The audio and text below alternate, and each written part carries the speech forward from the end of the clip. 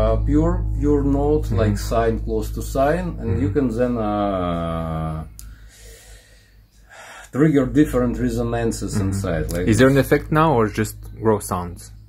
From it's it's uh, raw sound yes I mean, from your installation here. yes uh, It's just raw sound, check. yeah. hmm oh sorry yes here Okay. Uh huh.